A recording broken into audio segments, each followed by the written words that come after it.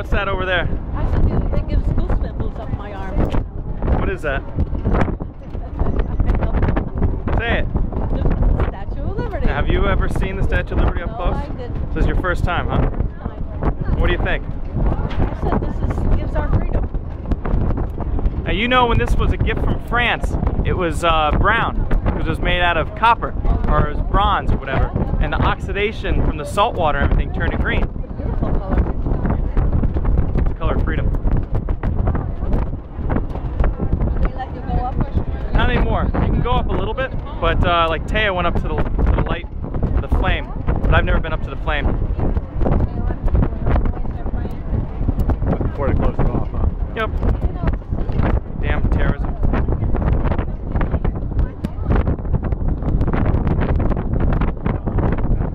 Hi, Irene.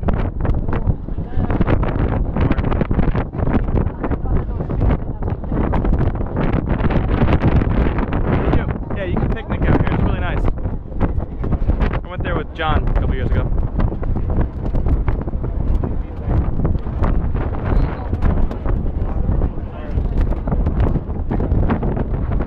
Get you. Hi. You want to take a picture of us and the lady?